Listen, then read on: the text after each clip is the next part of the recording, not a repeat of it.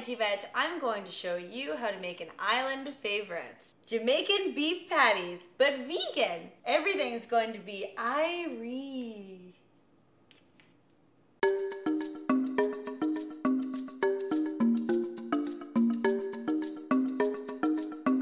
You cannot have a Jamaican patty without the fluffy crust, right? So that's what we're going to make first. It's kind of like making like a pie crust, it's the same type of idea, but we're shoving things into it to make it a Jamaican patty.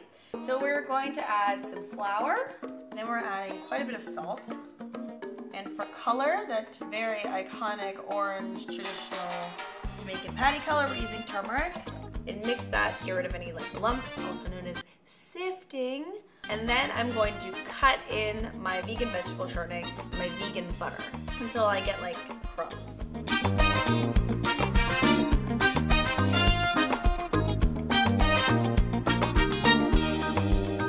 Now that we have crumbs, I am going to add some ice, ice cold water until it becomes a dough.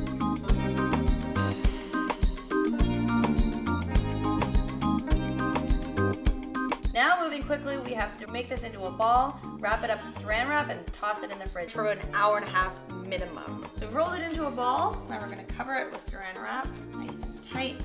Now let's toss this guy into the fridge and get started on the meat. There's no room in this fridge. Now I decided to make um, a traditional beef style patty instead of the vegetable patties. It's really, really hard to get a beef style Jamaican patty that's vegan. Plus, let's let's just face it, it is the better tasting patty. The first thing we're going to do is heat up our vegan butter in our pan. We're going to add in our onions and our garlic and our ginger and cook that for another, I don't know, like four minutes until it's translucent. So to get this like kind of like super authentic Jamaican flavor, we're using cardamom.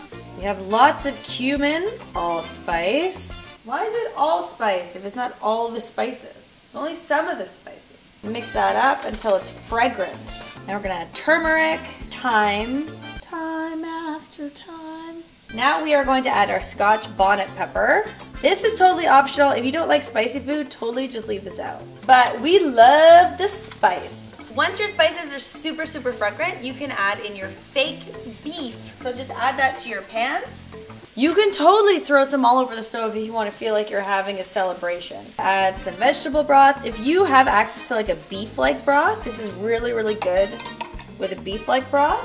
I'm gonna add some vegan Worcestershire. Make sure that when you use it, it's vegan Worcestershire. They have some with anchovies and some without. And then I have pureed tomatoes.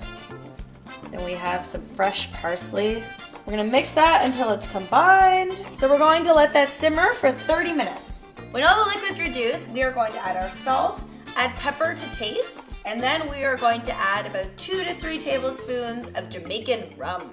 Because you're kind of stuffing the pastries with your hands, just set it aside until it cools. So another like 30 minutes or so until it's easy for you to handle. Then we're gonna stuff our pastries. We are slowly but surely going to quickly roll this out.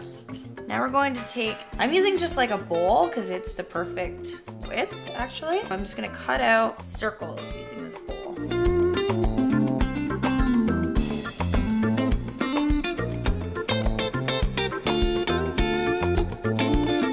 So I'm just gonna give this like a little rollout just to make it a little bit bigger. And now I'm going to use some almond milk and paint it on the outside of half of this thing.